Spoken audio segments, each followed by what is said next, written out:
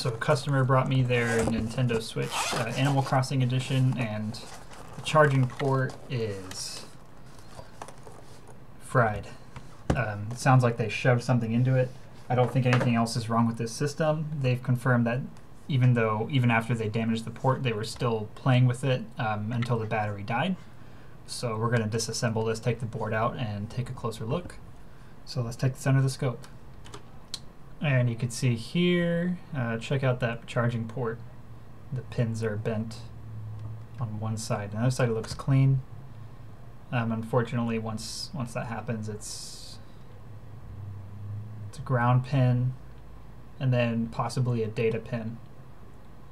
So I mean, I guess it's possible the port could this could work without a without a change, like just removing those pins. But I see some of the other pins coming up already, and once once it starts to kind of come apart, that's it. So we're gonna take this apart and put a new port on.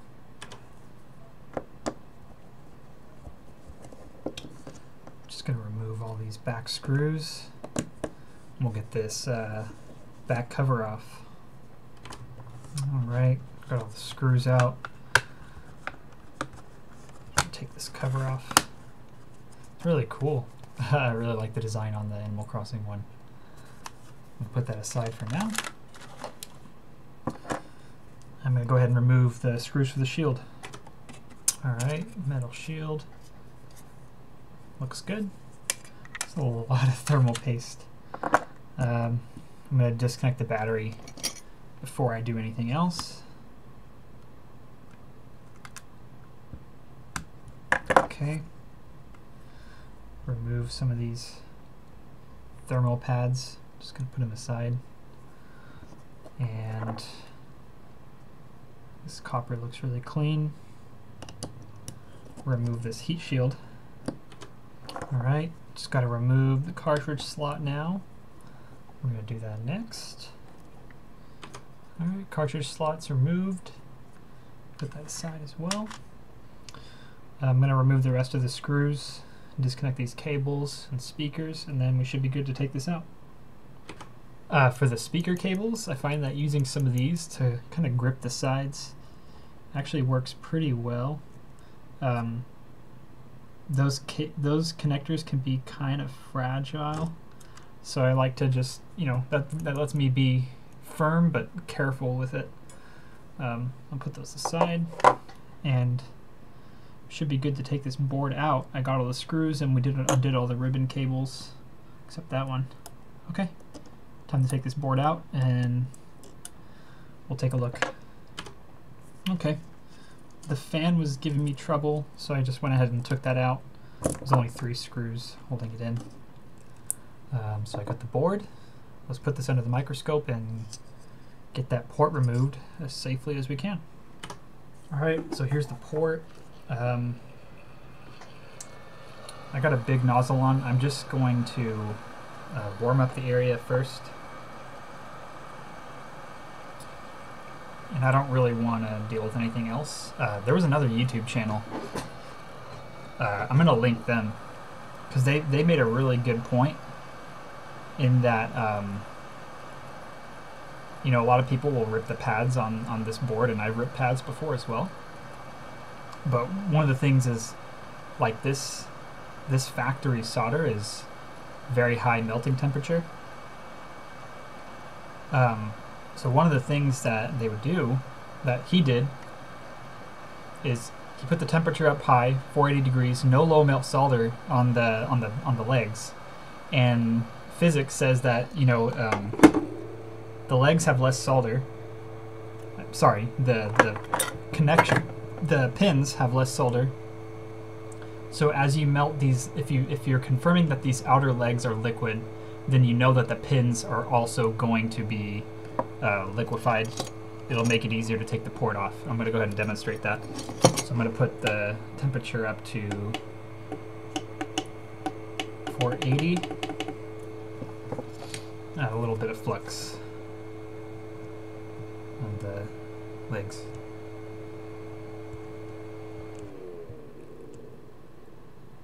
Let's go ahead and heat that up.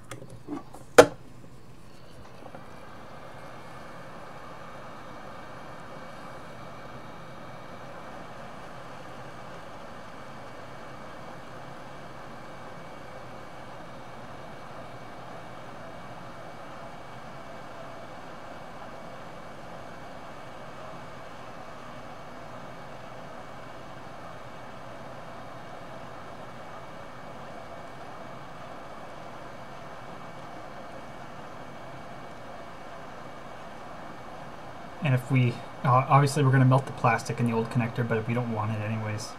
So, don't worry about it. It's not going to hurt the board.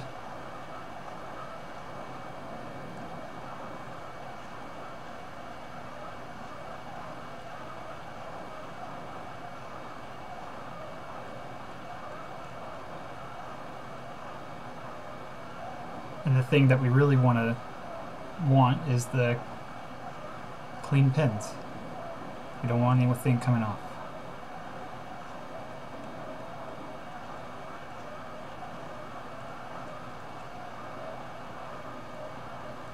I'm going to come back when this is a little more loose. I'm going to keep heating it up.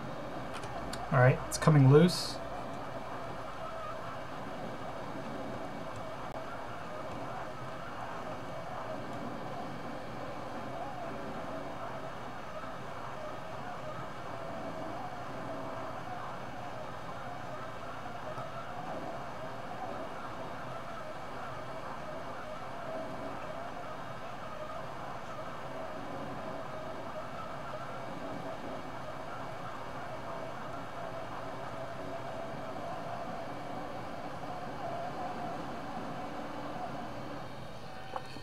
Beautiful. Let's look at the inside. I'm actually curious if I destroyed it or not. Yeah. Huh, it's actually not too bad. But we're not using that. Okay. Alright. Let's come a little closer. Turn this down.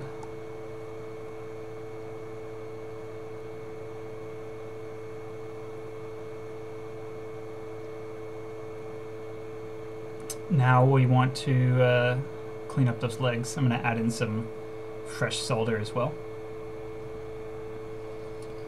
I'll turn on my iron and we'll, we'll come to that next. Alright, just going to add some new solder on.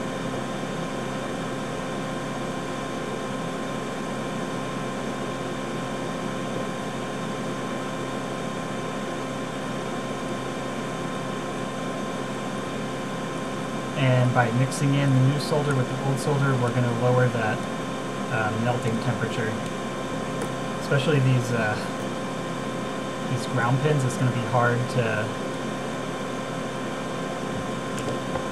it's going to be hard to wick them with the default solder. So we're just going to give that a good bath with some new solder.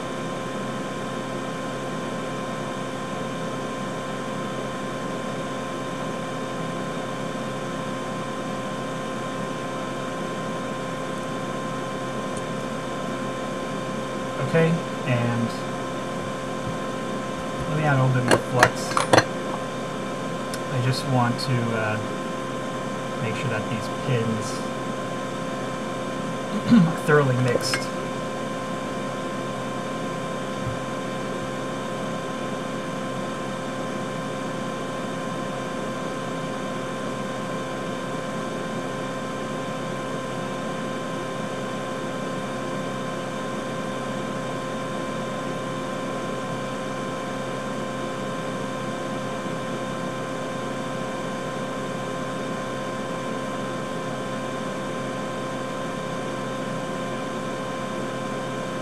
we can't touch up these back pins when it's all said and done. Just want to make sure that those those have as much as possible. Okay, that looks good. Let's go ahead and uh, wick off the the leg joints.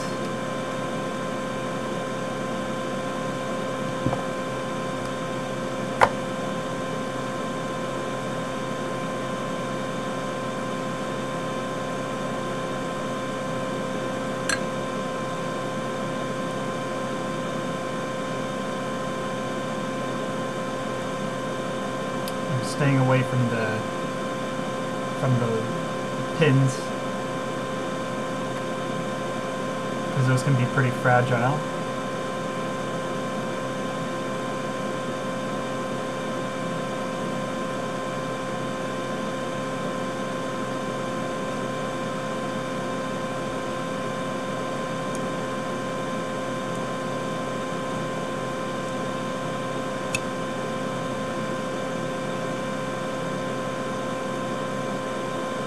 So we got most of it up there.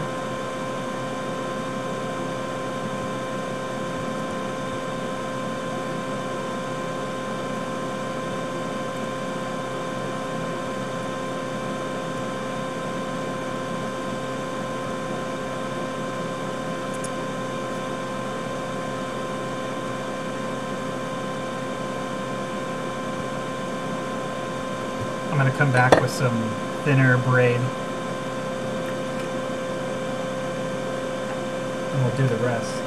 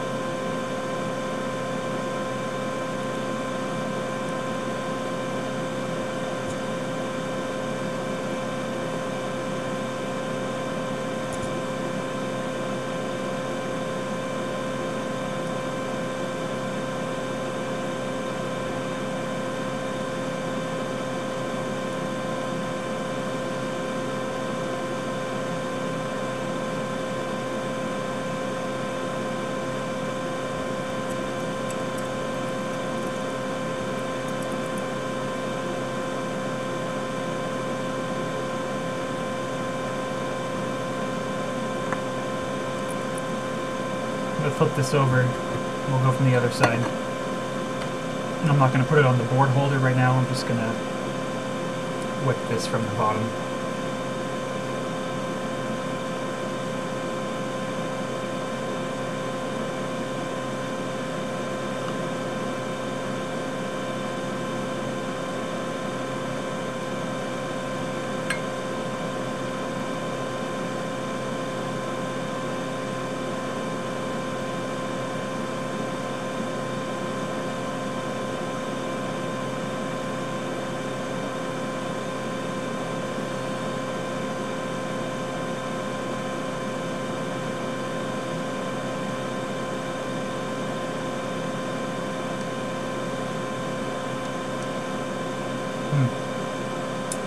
Holes can be really tough. Let's try these ones. These aren't giving me as hard of a time. That one's good.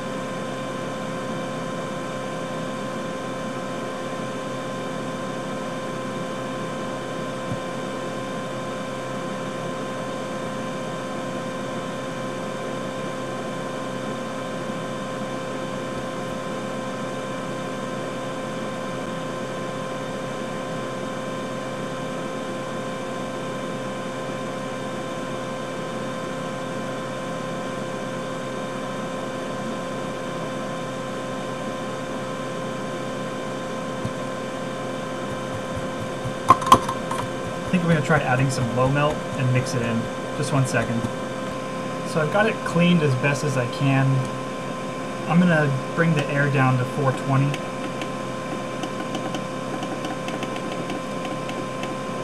And we're just going to heat this area up again. Um, I'm going to place the port down. And then we'll try to get that lined up as best as we can. So let me actually pull the camera back a little bit so I'll have more room.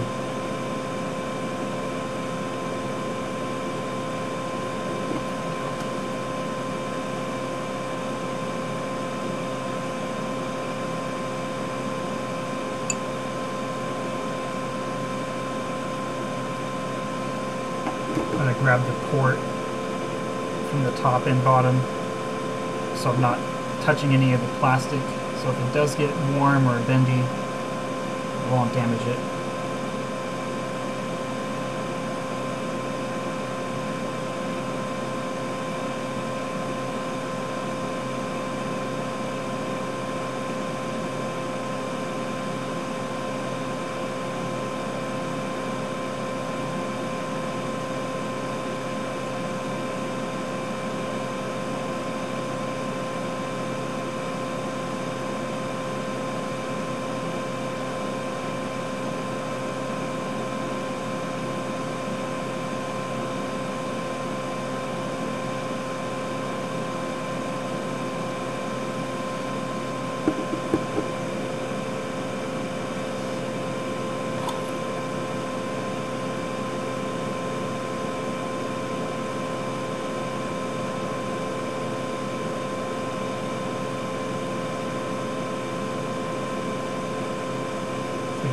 Or something.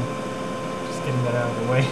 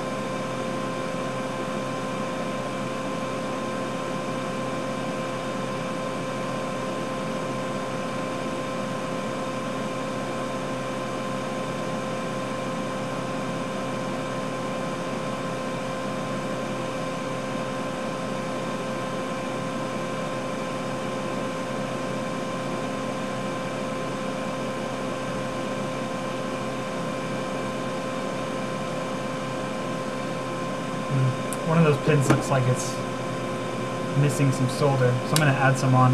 One second. Okay, I think I'm going to try to put the port on now. It looks like everything is nice and shiny and formed up.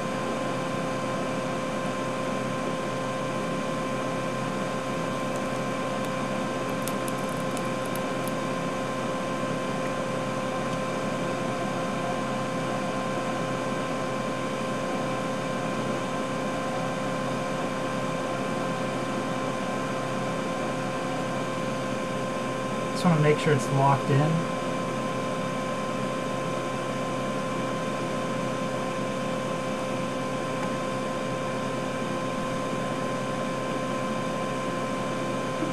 Add some flux.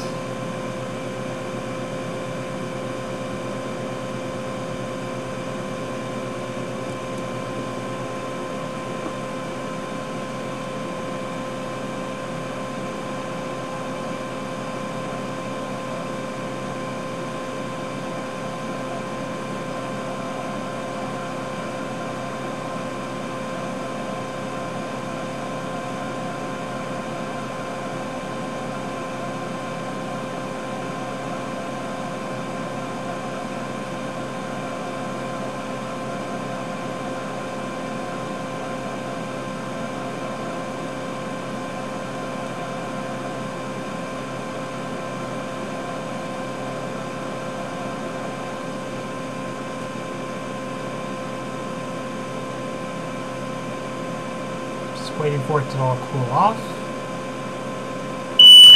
Ah, jeez. I totally set off my fire alarm there. Uh, I am using a fume extractor. It's just sometimes smoke gets up gets up above. I just want to go in and check each of these pins just to make sure it's all it's all okay. That scared. It really did startle me.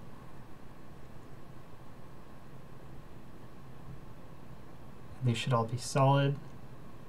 I saw it snap down in place.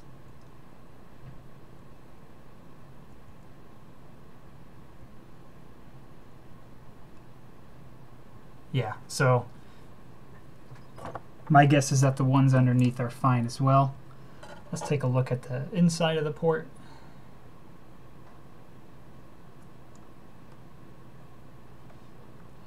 Yeah, that looks nice. Very cool.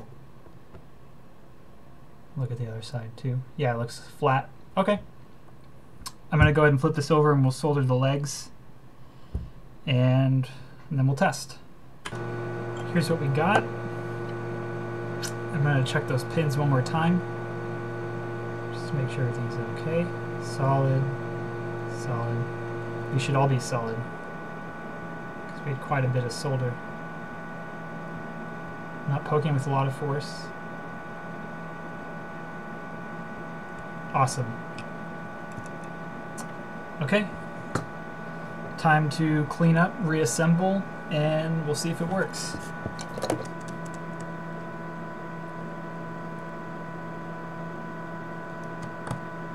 Alright, it's fully assembled. Let's test it out one more time. Just want to make sure it works both ways. Cool, we got the charging symbol. And let's take that out and do it the other way.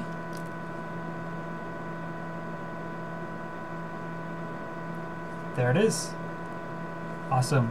So we got that port replaced on this uh, newer switch. I'm glad I was able to fix this for the customer, then get right back into gaming. Um, and thanks again for watching. Have a great day.